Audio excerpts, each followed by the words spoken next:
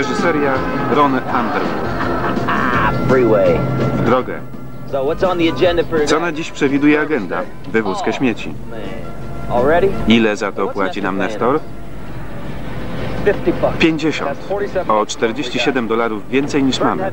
Bert i Heather mieszkają bliżej. Dziś ułóżmy u nich linoleum. Śmieci wywieziemy jutro. Jutro Nestor wyjeżdża. Jak nie zrobimy tego dziś, to jutro nam nie zapłaci. Valentine, ty nie myślisz perspektywicznie. Dziś jest poniedziałek, a ja już myślę o środzie. Dziś poniedziałek?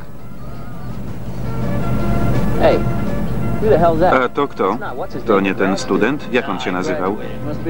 On już skończył studia, to ktoś nowy.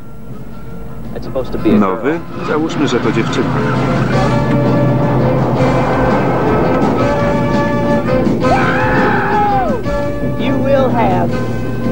Dziewczyna z długimi blond włosami, dużymi zielonymi oczami, piersiami światowej klasy, wspaniałym tyłeczkiem i nogami do nieba.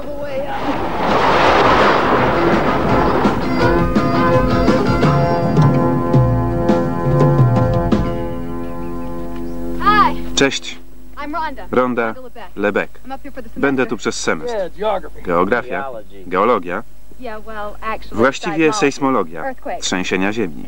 A wy to Val and i you. Słyszałam o was wiele. Wszystkiemu zaprzeczamy. Czy ktoś robi tu jakieś odwierty albo wybuchy, coś w tym rodzaju? or blasting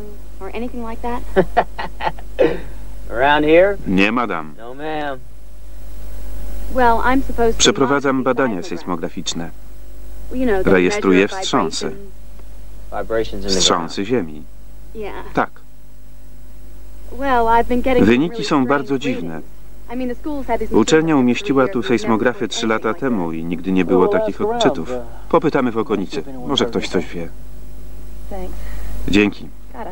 Gdyby te sejsmografy były zepsute, miałabym cały semestr do tyłu. Anyway, sorry to bother you. Przepraszam za kłopot. No problem. Nie ma sprawy. Cieszę się, żeśmy się poznali. Wszystko się wyjaśni.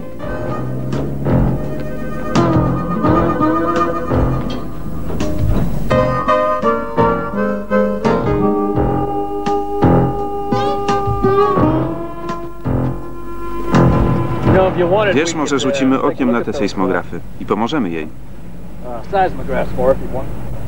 A co my wiemy o sejsmografach? Nic. Ale byłaby okazja do bliższej znajomości z Rondo. Valentine. Nie zainteresujesz się żadną dziewczyną, jeśli nie pasuje do twoich wyobrażeń. Jasne, ale to absolutna głupota. Pamiętasz tę Bobby Lynn Dexter? Tammy. Lynn Baxter. Obojętne. One wszystkie są takie same. Złamałam paznokieć. Niedobrze się robi. Cóż, jestem ofiarą okoliczności. Raczej namiętności.